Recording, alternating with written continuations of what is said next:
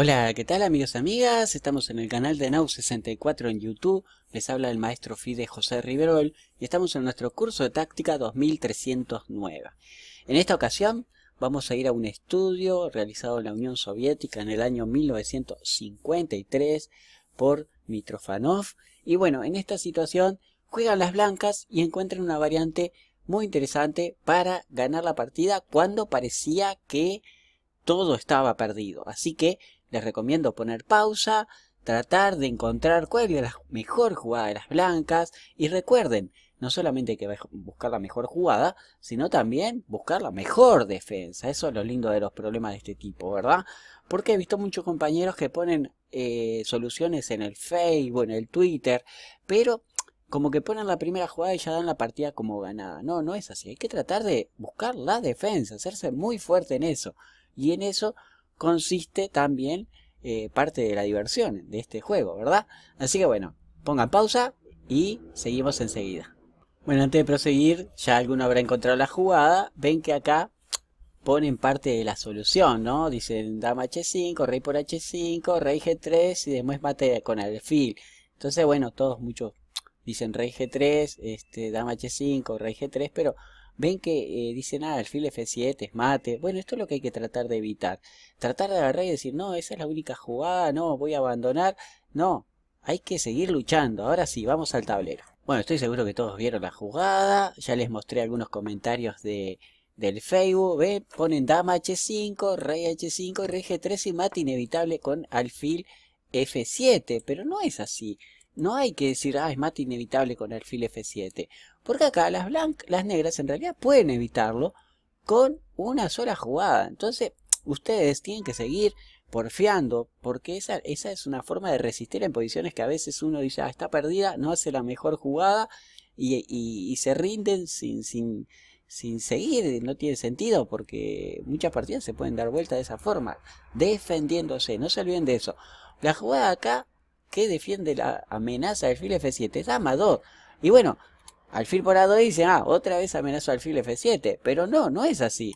La jugada es torre de 5 y bloqueo. Entonces, a esos muchachos que pusieron, ah, y se rinden porque alfil F7 eh, es mate inevitable, ven, esto es lo que les falta tratar de ubicar. ¿Cuáles son las mejores defensas? Entonces, si uno no ve, sacrifica a la dama y se encuentra que torre de 5 le hacen un bloqueo, tienen que abandonar. Pero no es así. Este problemita seguía unas jugaditas más y esto es lo hermoso. Las blancas juegan alfil C4 con la amenaza alfil E2. ¿Correcto? Dando mate. Pero, bueno, ¿qué hacer con negras? Y única, sacrifican el alfil. Por supuesto que acá el blanco, si come la torre, queda perdido. Si da el jaque N2, está el alfil. Así que única, alfil por A6. Y nuevamente se amenaza alfil E2. ¿Verdad? Y ahora las negras tienen dos alternativas.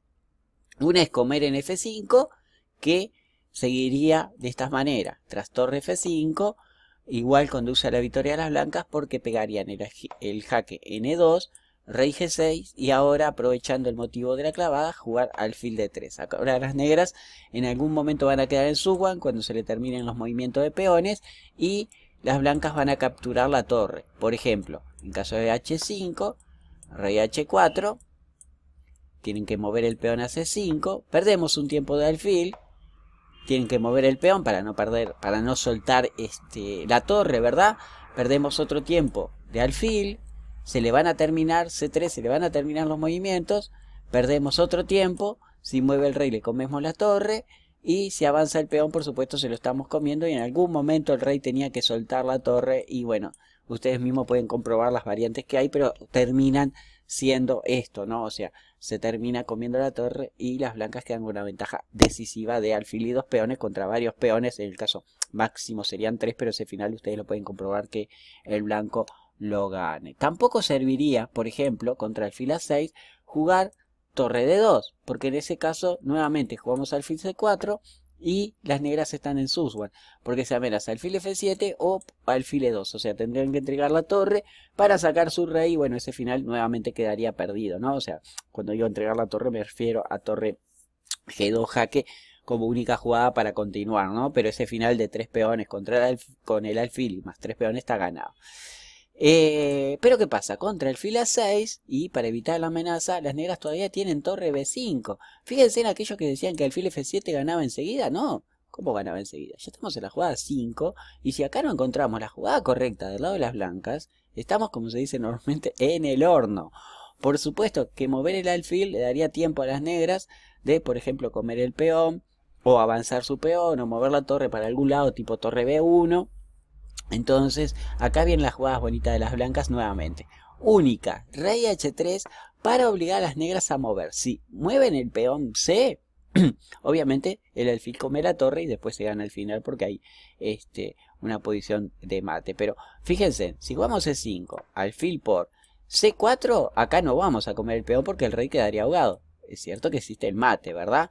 Por eso, cuidado. Entonces, contra rey H3 supongamos que las negras juegan torre B2, ¿correcto? Bueno, alfil C4 y ahora sí, se acabó, porque el alfil amenaza mate por los dos lados y la torre no puede cubrir las dos casillas, tendríamos que nuevamente con negras sacrificar la torre para sacar a nuestro rey y entraríamos en un final perdido.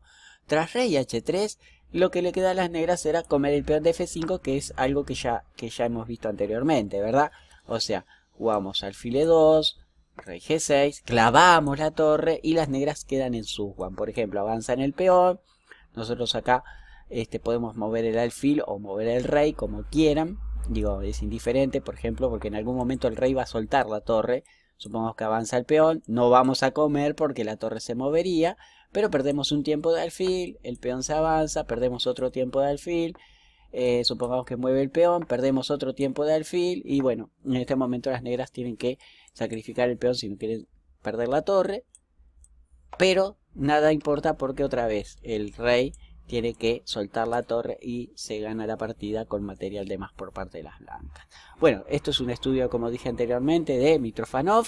Nos enseña muchísimo el hecho de resistir. ¿sí? Una partida que parecía que en dos jugadas se ganaba, no duró hasta la jugada 3 estamos en este momento. Así que bueno, espero que les haya gustado, se hayan divertido, está buenísimo que ustedes puedan reproducir el, el problemita en su tablero, tranquilo, llevando sus tiempos y ir aprendiendo y además disfrutando de este juego, de este noble juego que a todos nos apasiona, ¿verdad? Bueno, espero que estén disfrutando del mundial, más allá de que llevan tres tablas, hoy están jugando la cuarta partida, pero las tres partidas, quieran hacer o no, han sido muy interesantes cada una de ellas nos deja una gran enseñanza del campeonato mundial. Me estoy refiriendo entre Caruana y Cárcel, o mejor dicho, Cárcel, el campeón del mundo con su retador Caruana. Y bueno, nos estaremos viendo la próxima. Así que, como siempre les digo, eh, que compartan el video con sus amigos en las redes sociales si quieren. Darle un like y, por supuesto, suscribirse al canal. Un abrazo grande. Que pasen lindo. Chau, chau.